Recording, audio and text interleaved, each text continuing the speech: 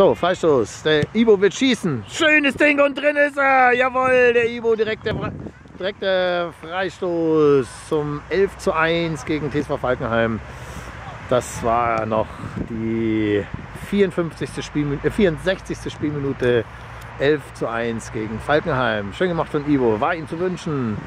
Lang, lang und hoch verdient der Treffer durch Ivo.